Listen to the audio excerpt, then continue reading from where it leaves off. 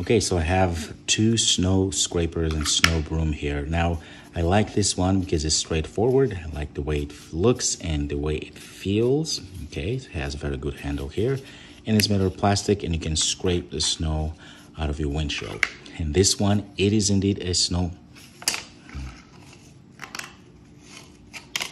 And this one is and this one is a snow scraper as well as a snow broom so you can use also this to um, sweep the broom, uh, sweep, in this case, snow out of your car or windshield. So both of them have, both of them are really good. This one is longer, as you can see.